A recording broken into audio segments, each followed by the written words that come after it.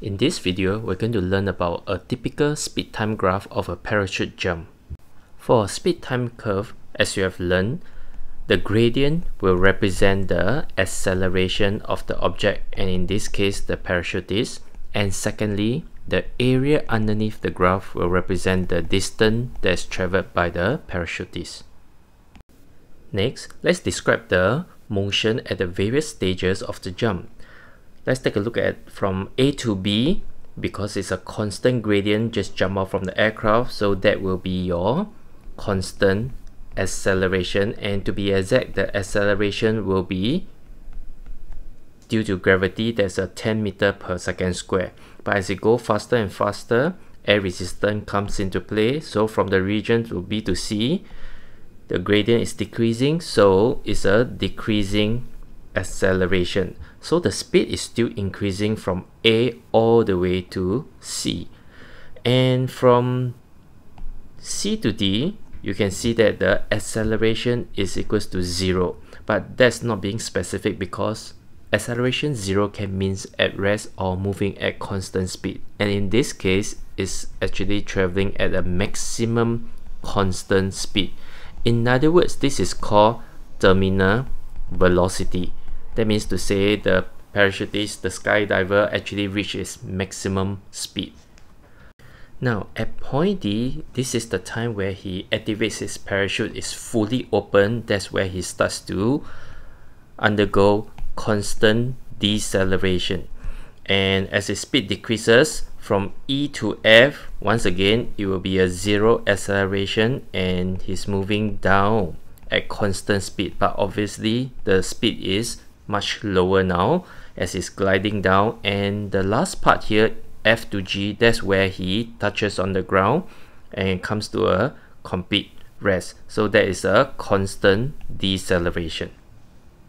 Next we're going to describe the motion of the skydiver using forces.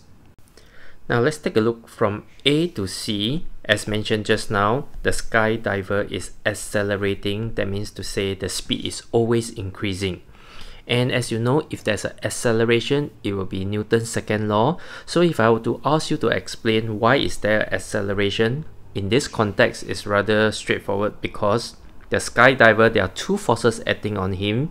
That's his weight and another force upwards will be the air resistance. And in this case, because his speed is still relatively slow, the air resistance is small. So the weight is greater than the air resistance. Therefore, there is a net force. And it's precisely this net force is in the same direction as the motion. The skydiver is falling towards the earth and this net force is downwards. That's why there is a acceleration. So it causes the skydiver to increase in its speed is accelerating. But if you look at the whole section AC, there are two distinct portions, A to B and B to C.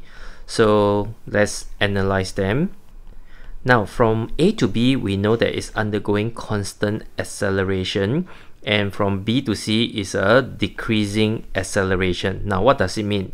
Constant acceleration means every second the increment in the speed is always the same or rather the speed increases at a constant rate. Well from B to C the acceleration is decreasing. It means that every second the increment in the speed is getting smaller and smaller. In other words, the speed is increasing at a decreasing rate. For AB, that's the moment where the skydiver jumps off from the aircraft and the only force that's acting on him is weight. Because he just jumped off, the speed is relatively low. Air resistance can be considered as negligible. So it's basically free fall with no air resistance and therefore the acceleration will be a constant 10 meter per second square acceleration due to gravity. So this weight will be the net force acting on the body, the, uh, the skydiver. So this net force downwards in the direction of the motion will cause him to accelerate at 10 meter per second square. As for BC, if you're to be asked to explain in terms of forces why the acceleration is decreasing. Now, as the speed of the skydiver increases, the air resistance acting on him will increase. So if you look at the skydiver, the weight is acting downwards. As it go faster and faster, air resistance will increase. And normally when you need to find the net force, because the skydiver is moving downwards, so you take the weight minus the air resistance. As mentioned just now, as you go faster, this air resistance is going to increase and the weight is a constant value. So when weight minus air resistance, it will get smaller and smaller. In other words, this net force acting on the skydiver is going to decrease. As you know, F equals to ma, where F is the net force. So if this net force is decreasing, the acceleration will decrease because the mass of the skydiver is constant. Next, let's take a look at CD, where the skydiver is falling at maximum constant speed, which is terminal velocity. Now, because the fact that it's moving at constant speed, it should come to your mind that it's Newton's first law of motion. So, the forces will be balanced, net force will be zero, therefore there's no acceleration.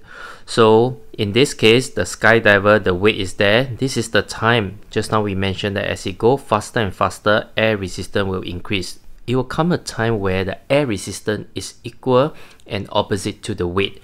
And when that happens, the net force is zero, the acceleration is zero. And because the skydiver is already moving downwards, so when the forces are balanced, net force equals to zero, acceleration zero, he will just continue to move downwards at the maximum constant speed. At point D, we already mentioned that that is the time where the parachute is fully open. And when that happens the air resistance will suddenly shoot up because of its big surface area of the parachute. So right now the air resistance is greater than the weight. And if you were to find the net force we take the bigger air resistance minus the weight. And this net force is acting upwards while the motion of the skydiver is still going downwards so it's precisely this net force which is opposite to the direction of the motion downwards which cause him to decelerate for the speed to slow down. It's like a car you step on the brake while the car is moving forward, the all the net force is acting backwards, causing the car to decelerate. It will not go backwards but will cause the car to decelerate. If you look at F equals to ma, this F, which is the net force right now, is opposite direction to the motion. So you have to indicate by adding a negative sign here. And if you were to solve for your A, you will end up with a negative acceleration, which indicates there's a deceleration. So that explains why there's a constant deceleration from D to E. As for the section E to F is moving at a lower constant speed and it's very similar to C to D. So it's just that now the difference is that the parachute is already activated, the weight is acting downwards, but because from the section D to E, the deceleration take place as the speed decreases, your air resistance will slowly decrease. So it will come to a stage once again where the air resistance is equal to the weight. So when that happens, the forces are balanced, net force is zero, acceleration is zero. So the skydiver will continue to fall towards the ground at a constant speed, but at a much lower constant speed compared to the terminal velocity at CD there.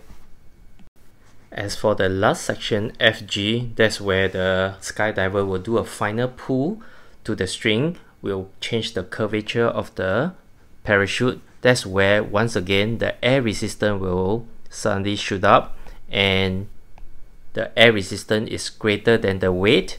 So it's an unbalanced force. There's a net force acting upwards opposite to the motion of the skydiver. So he will undergo a last deceleration until he reaches the ground so after this video, I hope you have a better understanding in the speed time graph of a typical parachute jump and also able to explain the motion in terms of forces. If you require the explanation, more detailed explanation in words, you can refer to the comics that's in the same post as this video. So thank you so much.